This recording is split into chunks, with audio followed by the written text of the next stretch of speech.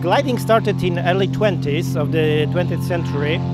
Uh, essentially, the idea was after uh, more or less the powered flight has been maybe not mastered, but you know really well, uh, uh you know, fully engaged. Uh, a lot of people started thinking uh, about coming back, you know, to the um, whole sport of flying, which started in 19th century with gliding.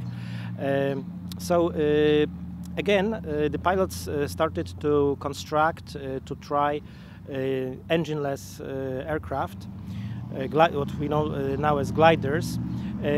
What, it all started essentially by flights from the slopes of the mountains, of the hills. this was the only way then they could fly without engine. so then, well, gliding was essentially, you know, as the word says, gliding down uh, from the slope of the mountain at the distance of maybe one kilometer, kilometer maybe three kilometers.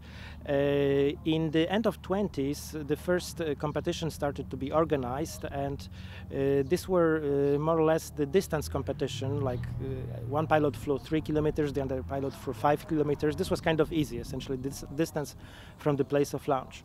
And again, uh, about the same uh, about this time in 20s, the pilots started to notice that uh, they can not only fly down the mountains, but also that, for example, when the wind blows across the mountain range, ac across the hill, uh, the slope of the hill will deflect the wind upwards, and this uh, upward uh, draft of air can be used to raise the gliders up, the glider up. Because what we have to remember is that the glider is always flying down uh, with respect to the surrounding air. But if the glider pilot finds the place where the air itself is coming up, then effectively the glider can fly up. And this is, you know, principle which we use uh, until today. So uh, first it was, as I say, it was just coming down the slope of the mountain. Then uh, pilots started to fly essentially along mountain ridges uh, using the uh, deflected wind deflected by the mountain range upwards. Then the pilot started to maybe accident accidentally, maybe on purpose, venture uh, a bit further from the uh, hills, from the mountain ranges, and noticed that uh, even over the plains, there are places where the, where the, air rises up. How come? Well, simply the sun uh, heats the air down by the earth, and as everybody knows, the hot air will come up. Uh, the hot air forms so-called thermals, columns of rising air, and this is what started to be uh, utilized. Now, uh, what this requires is it requires a much better glider than for uh, slope uh, glide, uh, soaring, slope gliding, because uh, this rising columns of air they are not as fast as it as they are rising in the mountains. Uh, also, uh, the problem is to find such a column of a rising air, which is really not easy. So first it was, uh, well, these uh, thermals, as we call them, were found uh, essentially by luck. Um, also by uh, observing the clouds, because the clouds form on top of such thermals. But then, in about end of 20s, beginning of 30s, the instruments started to be used. There is this now indispensable in the gliding instrument called Vario from variometer, which uh, tells the pilot if he's rising or falling down uh, with respect to the surrounding air. Sounds simple, but the idea was so uh, novel at the time that the first glider pilots were actually concealing the fact that they are using these variometers, that it is possible to find uh, to understand that pilot is in the column of rising air using such an instrument, there is this uh, story, probably true, that one of the leading competing glider pilots at the time was uh, hiding his uh, instrument var variometer in his bag before going to the glider, and was going uh, and was telling the fellow glider pilots that he has just a thermos with a coffee there, or what re in reality was the instrument which was allowing him to beat uh, them, you know, in the game. Uh, now, uh, when other glider pilots uh, learned about that. Uh, some of them essentially, you know, published uh, the thing, popular, popularized the use of this instrument, and uh, well, this is how we fly today. We essentially have this essential instrument, variometer, which tells us whether the air around us is rising or not. Which, of course, we first have to find it, but it confirms, and it's tells us that we should uh, circle in such a place and gain altitude.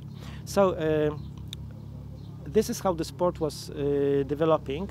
Uh, by the early 30s, the distances flown by the glider, uh, using all this uh, knowledge learned the previous decade, started to be uh, to become so long that it became impractical to race to compete just based on the distance flown because the distances started to uh, become quite long, say 50 kilometers.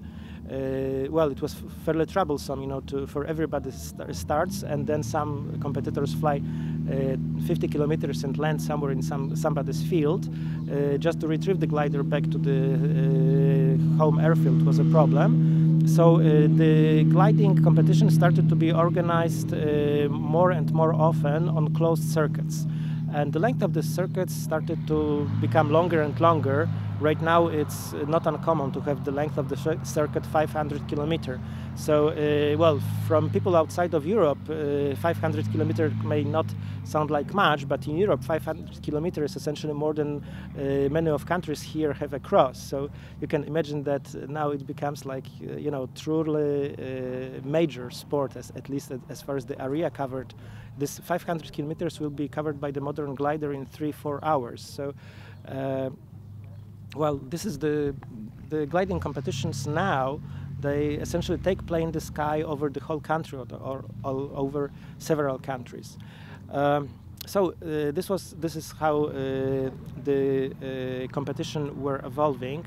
Now uh, I will uh, uh, tell uh, maybe uh, a bit about the uh, locations this competition are held. So right now here in Michałków we are in typical plains terrain competition, glide, competition gliding means that the pilots will exclusively use the rising air due to the action of the sun. Essentially, they are converting the energy of the sun to the fuel for the gliders. Uh, now, what is still possible, and of which of course is used, is flying in the mountains, which is slightly different.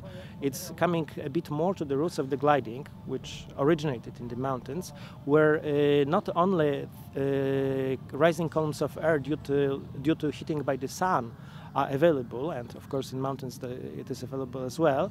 But uh, additionally, uh, the uh, wind deflected by the mountain ranges uh, can be used. Uh, there are also different types of the action of this uh, sun in the mountains. I won't get into details here, but there are also a very powerful phenomena called, called mountain waves, which is well, maybe if you ever looked at the fast flowing stream, you could see that uh, in the vicinity of the obstacles at the bottom of the stream, the uh, surface of the stream it should be you know really smooth isn't like you have uh, places in the stream when you have visible uh, bulges when when the water will go up.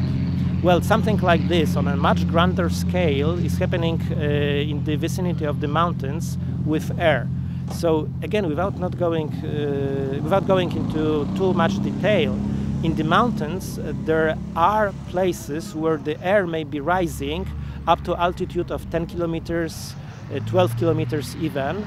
And uh, in those conditions, the competitions are also held, well, allowing to fly really big distances at very high uh, velocity.